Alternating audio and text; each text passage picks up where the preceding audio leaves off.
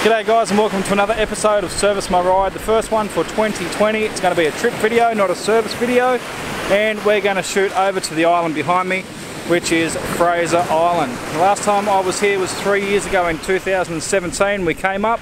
We're going to try it again 2020, but the weather isn't on our side. We're down at Inskip at the moment. The ferry's having trouble getting in because it's washed away all the beach on high tide. So we might be camped up for a little bit, but hopefully we can get on that barge and get straight over to Fraser.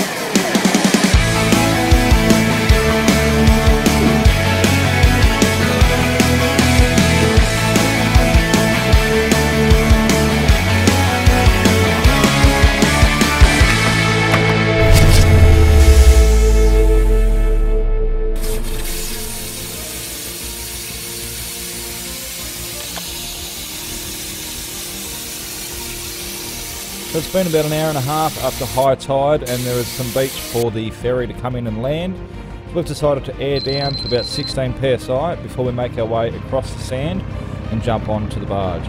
Now through here is normally quite hot and it's quite soft uh, and you will need four-wheel drive to get through here but with all the rain that's been here the sand is really firm so we got across here in only two-wheel drive. So once we're on the barge, it's about a 10 minute trip across to the south side of the island where we need to make our way north up to Cathedral Beach. That's going to be our base for the week. It's quite central on the island and we can get to most places quite easy from there.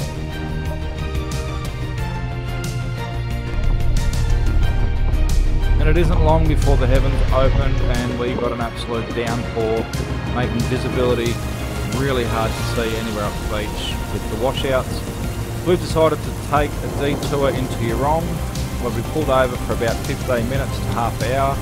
We had a hot coffee, waited for the storm to pass and continued on our way up the beach until we reached Cathedrals.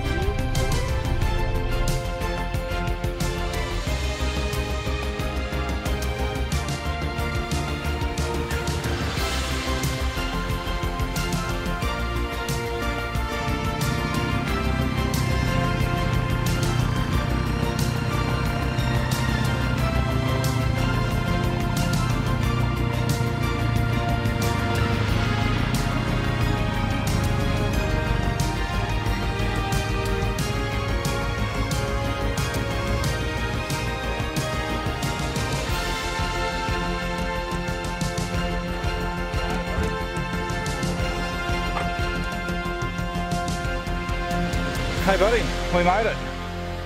So after about a four hour drive up the east coast of Fraser Island, we've finally made it. That rain was terrible, wasn't it? Yeah. The visibility was literally about 10 foot in front of us. We couldn't see right down the south end. But once we got up past uh, Eurong, yeah. uh, we could actually get up to about 40, 50 k's an hour and it wasn't too bad, was it? No. The washouts weren't too bad. Once past Eli Creek, it was alright. Eli Creek? Yeah. Once we got past Eli Creek and the Maheno, it was smooth sailing. And we did about 80 k's, I reckon, all the way up here, and we covered some ground pretty quick, didn't we? Yeah. It was good. Anyway, we've just got to our cabin. We're going to unpack the car, and once we've unpacked, we might have a little something to eat, maybe. Might have a little something to eat, and then we might go for another quick drive down the beach to cap off our first day on Fraser.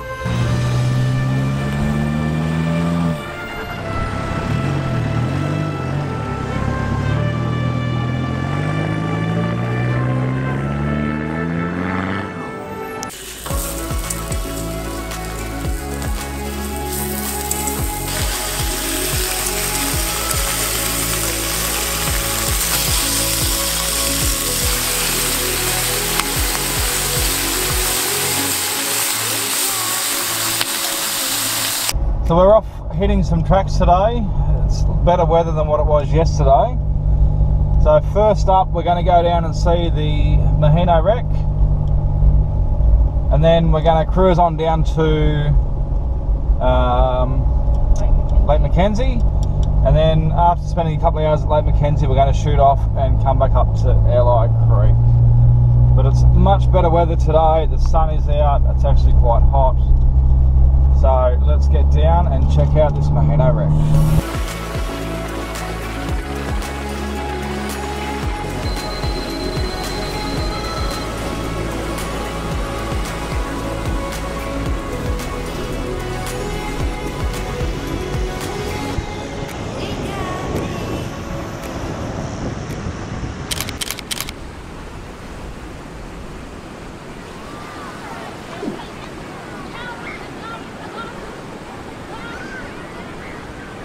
That's a good idea to get yourself a tide chart. Knowing when the tides are will help your travels out around the island. We've got down here to Eli Creek and it is on high tide. There is a bit of a washout, which we could get through. Quite a few cars have made it. But we've decided to set up and make the day down here at Eli Creek.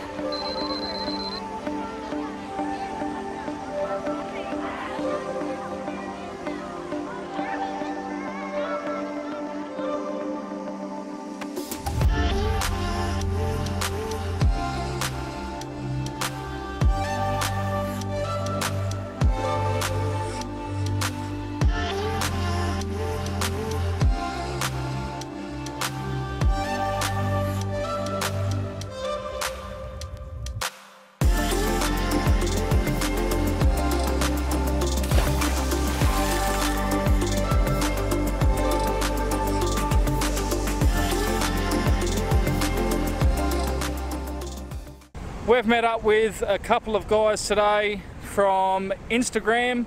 Check out his page, I'll leave a link down below, and it's Josh from Hectic 4x4.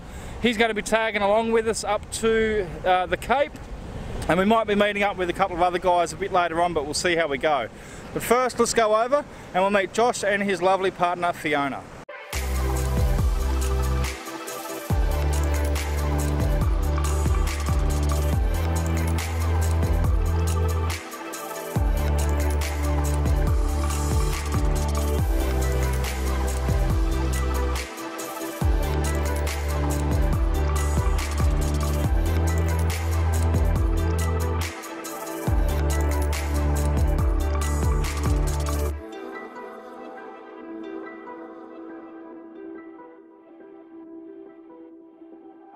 Josh, how you going, mate? Hey man, nice to finally meet ya. Instagram, Hectic 4x4, check him out. Yes, definitely. We're going to go for a cruise today up north of Fraser. We're going to go through Champagne Pools.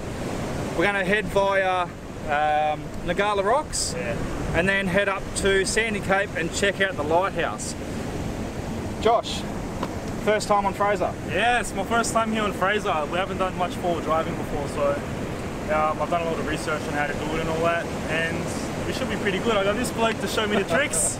We can get bogged together. Yeah, pull each other out and all that, so it should be mad fun, and yeah, we'll learn a lot of good um, good tips and tricks off, Awesome. off this bike. So what are we running? What type of uh, yeah, Triton have we got? So I've got a ML 2006 model, uh, V6 engine, 4x4. Um, it goes alright, it goes pretty good. Um, had it for about a year now, been about a year. Uh, done a bit of work to it. As you'll see on my YouTube channel, we do a bit of work ourselves and we get it on camera. Um, yeah, she runs pretty good.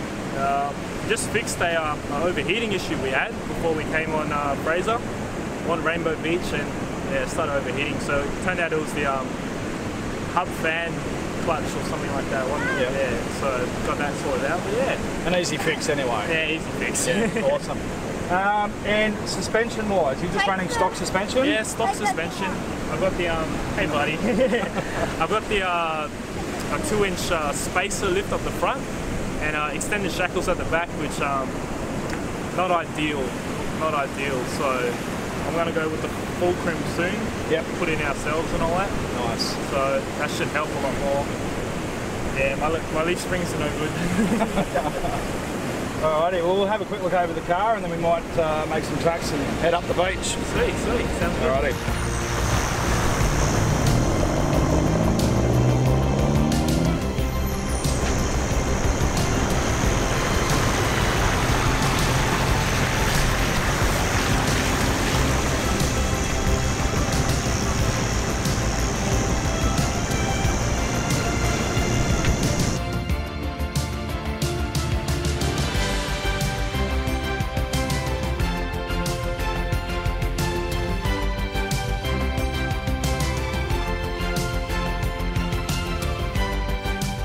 Up here at Indian Head at the moment. That's where the beach stops because of the uh, the rocks there. So now we need to go on the inland track. Now the inland track is quite soft. There hasn't been as much rain up here. It's quite dry, it's been windy, so the top is going to be really soft and we might sink quite a bit. Now I'm running 16 PSI in my car, Josh is running 20. He's going to drop it down to 16 and hopefully we can get through without any troubles. If we do, we can always go even lower before we start resorting to a different method, but we'll see how we go with 16 PSI. Alright, let's do it.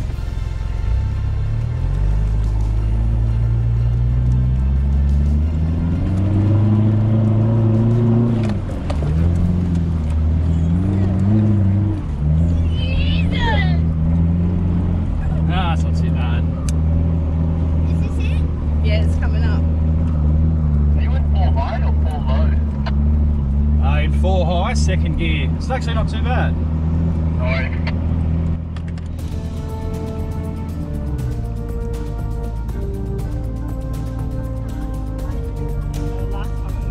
and I may have spoken too soon. New Indian Head is a nice little track to get through, some soft sand, and it's quite fun to get through into full drive. But little did we know for one of us that this would be the end of the day, breaking down and doing some damage to the bottom of the full drive.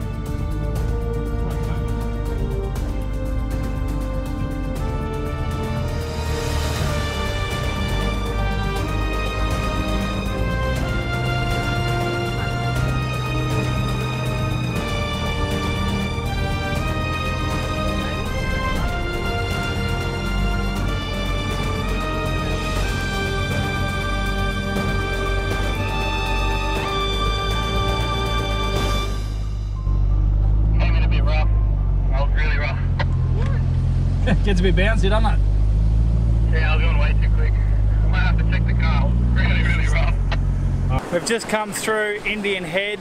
Um, had to give it the berries to get through there, but Josh has gone a little bit too hard. Uh, it's it's bounced, and he's actually bent his three mil bash plate, and it's bent up and actually cracked the bottom of the radiator tank. So now he's actually leaking coolant. Um, so this could be the end of the line for Josh coming up to the Cape with us. But we'll see how we go. I, I doubt we're going to be able to fix it. Um, he only had radiator or, or overheating problems the other day when the clutch fan went. He's got that sorted out, and now he's now he's uh, cracked his radiator tank. So could be the end of the day for him. That's how easy it can happen. Just going over a bump and it's and it's cracked the radiator. We're not that far from Champagne Pools. You can see just up there on the point. It is high tide, so we might just stop here anyway, have a bit of lunch, um, see if we can get Josh's car sorted out. Uh, whether he gets a tow truck or a mechanic, I'm not too sure, but I think we'll stay with him and we'll see what happens, and we'll make a call a bit later on. So let's uh, let's have some lunch. We may have got Josh out of trouble. We've put we've bent the uh, the alloy on the radiator back around the tank pinched it back together. We've put a little bit of uh, radiator putty in there. Hopefully this will keep us going. So we've got to wait about 10, maybe 15 minutes for it to go hard. We'll put some water in it, see if it holds.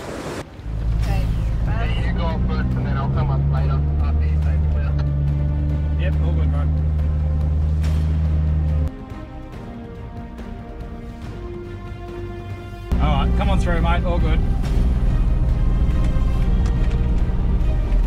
Just watch that little step there, don't hit him too hard. Slow and steady wins the race.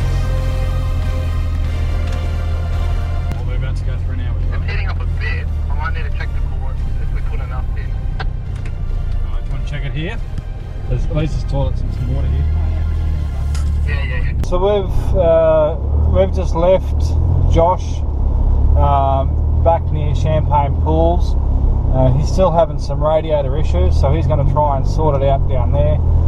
Um, they're camping down there anyway, so it's not too bad.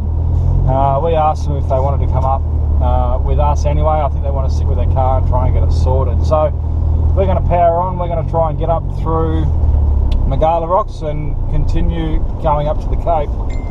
Uh, and on our way back, uh, we'll stop in and see how Josh is going uh, on our way back home.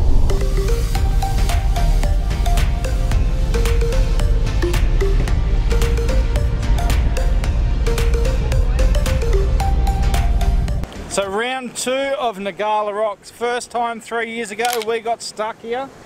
This is going to be a, another challenge for us to try and get through here. I'm really looking forward to this. This is going to be quite fun. Now we are on our own. Josh obviously isn't with us. Um, we might have another car meeting us here within the half an hour or so. Uh, but if not, we're going to give it a crack. We're going to see if we can get through here. This is pretty cool though. Let's uh, let's check out Ngkala Rocks. We'll try and get around there. Up there, that's where everyone is getting stuck. Super soft sand. As you can see, there's no one around at the moment. We're just going to sit back before we start this. We're going to have a quick bite to eat. We'll wait about half an hour or so, and uh, we'll give it a crack. Even if we do get stuck, we've got a couple of things. We've got our MaxTrax. We've got a couple of things to try and get us out of here. It is super soft. This is going to be a big challenge to see if we can get through here. I'm really looking forward to it. I don't want to be defeated again on Fraser. I want to get this done. I want to tick off Ngkala Rocks. I want to get to Sandy Cape so that I can tick off everything on the list for Fraser Island. So I've lowered the tyre pressures from 16 down to 10 psi.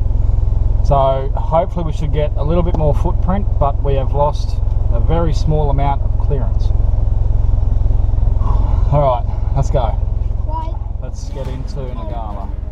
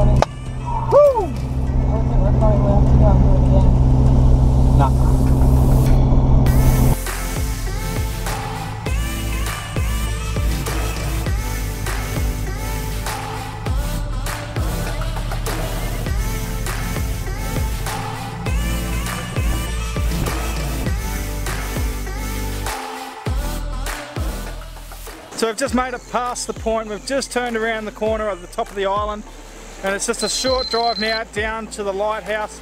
But we just pulled over here. It looks absolutely amazing. So we thought we'd just get out, have a bit of a look around, just wet the feet and uh, before we get down to the lighthouse. I'm so glad we took round two on Fraser on the Gala Rocks. My heart was pumping getting through there, but we got through there Even North Ngkala Rocks was a little bit tricky, uh, but that was awesome. I'm so glad we made it. But anyway, let's keep going down to the lighthouse.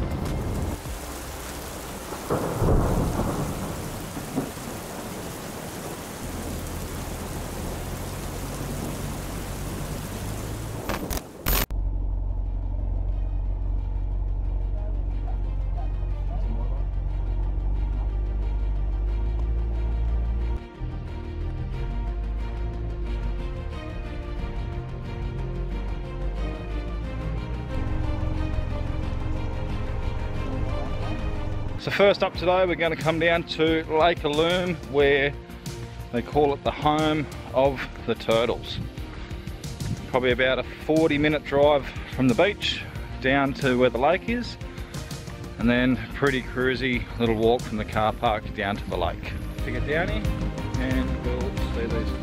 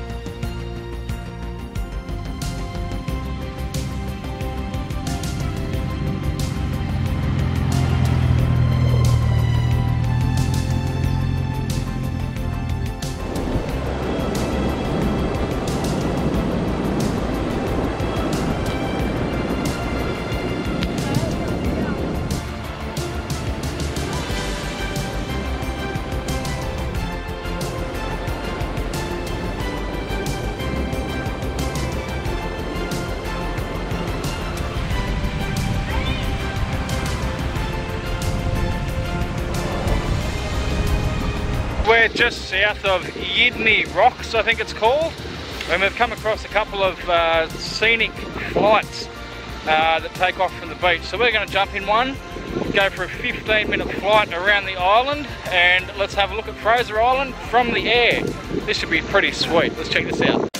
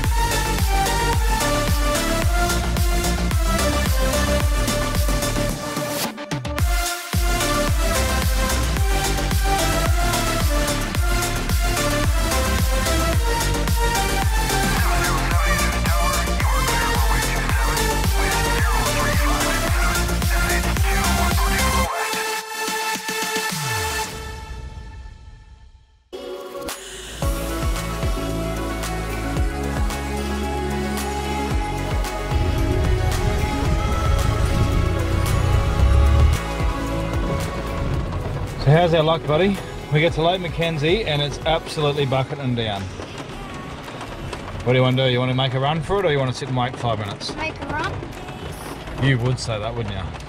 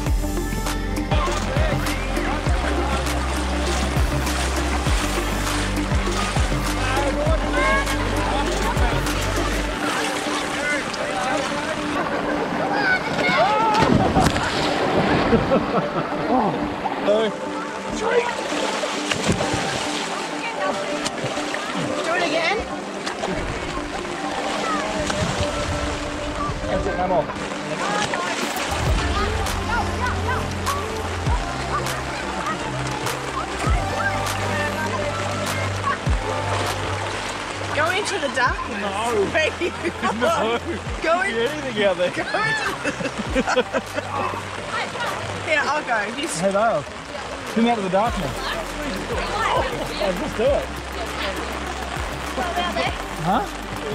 I don't know. No, no, no one's game to go out. yeah, I'll go. Go right out, no? All the way.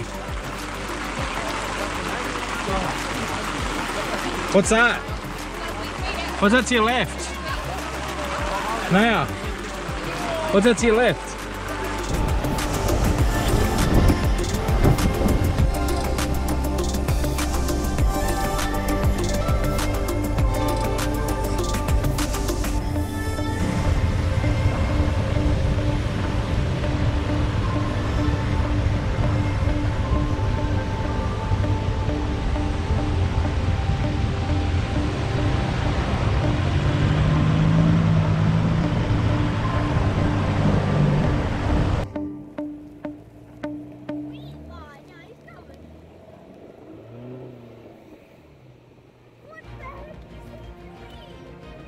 If you've been wondering what happened with Josh, uh, we couldn't get in contact with him the other night. The reception was really poor, but he ended up getting his car going again. Turned out to be some air in the radiator, causing it to overheat.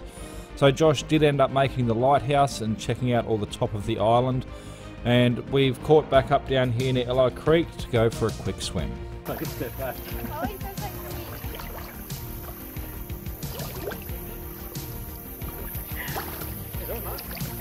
Taking a video. Your son's climbing a tree. Or it's Josh, sorry. I thought it was just, I thought it was Bailey then.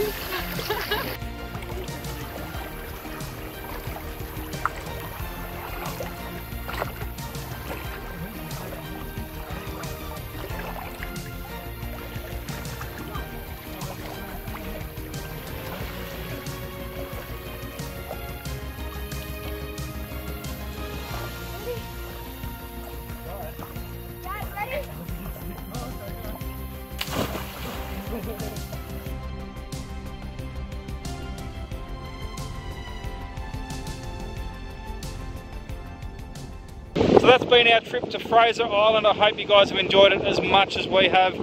I've absolutely loved being up here. We've actually spent the week. It's been fantastic getting up to the Cape, uh, catching up with Josh from Hectic 4x4 and some other great mates we've made along the way. So to everyone that we met along the way, thank you very much for making our journey absolutely fantastic. We've loved it.